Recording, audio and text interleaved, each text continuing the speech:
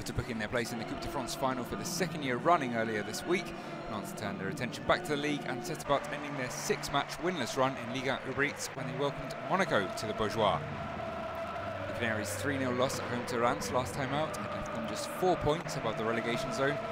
Return to winning ways needed to come sooner rather than later. They were coming up against a strong fourth-place Monaco side who had moved to within three points of Marseille and Lens for a Champions League berth when they edged Strasbourg in a seven-goal thriller. And indeed, it didn't take the visitors too long to break the deadlock. Axel Disasi bringing down a Caio Henrique corner on his chest and smashing the ball beyond Alban Lafont. Very rare you see a player able to chest down a corner. Again, it is Disasi's area of expertise. All eight of his top-flight goals have come from set pieces.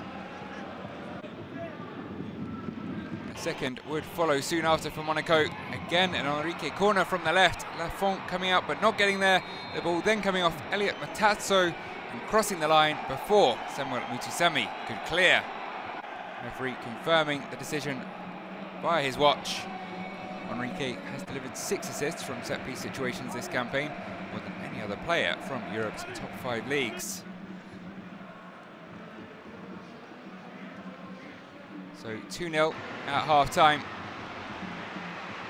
appeared little prospect of a comeback for Le Canary. When the two sides re-emerged, it was Monaco who produced the next shot on goal. Big Blas, for now, watching from the bench. 17-year-old Eliesse Ben Seghir's long-range shot produced a decent save from Lafont. However, Antoine Kombouaré, who made six changes to his starting 11, sent on some of the big names not long after the break. Blas, along with Mostafa Mohamed and Ignatius Ganago.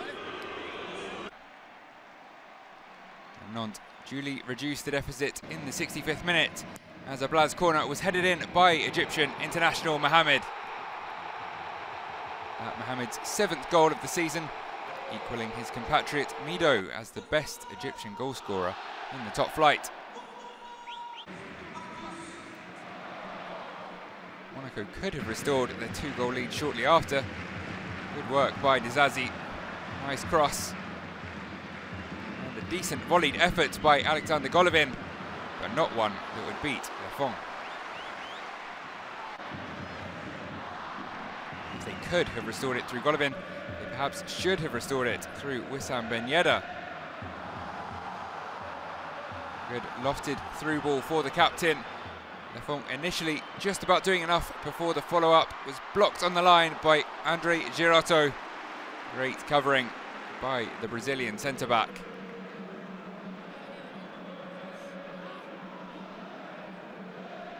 As the game became more and more end-to-end, Nantes would make the most of their backline's resilience at the other end.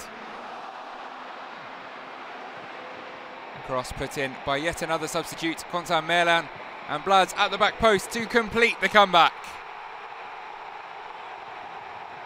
Blas has scored 32 goals since he joined Nantes in 2019, more than any other midfielder in the top flight over the last four seasons. So the fans probably don't need a reminder of his name. The hosts could even have won it late on.